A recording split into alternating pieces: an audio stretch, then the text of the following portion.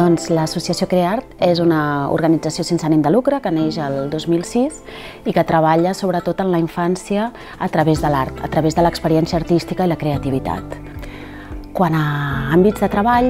a Creart des de 2006 treballem en l'àmbit de la cooperació internacional, sobretot a la Franja de Gaza, hem treballat a Senegal, a Iran, a Afganistan, a Tailàndia, i pel que fa a l'educació pel desenvolupament o l'educació per la justícia global, treballem sobretot a escoles de Barcelona a través de l'educació per la pau.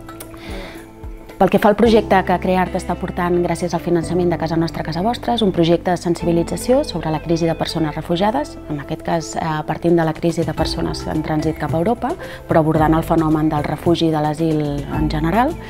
És un projecte que consta de diferents fases i el que té d'especial és que incorpora el testimoniatge d'una persona, d'un refugiat, en aquest cas de la Franja de Gaza, del Mahmoud. Um, les sessions en aquest eh, projecte treballem amb professorat a través del claustre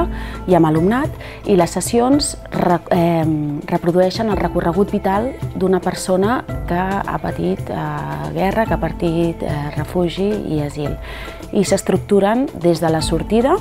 abordant tot allò que es deixa, eh, passant pel refugi, l'arribada i la integració, on aquí sí s'interpel·la l'alumnat en el seu paper actiu com a, com a part de, de població d'acollida.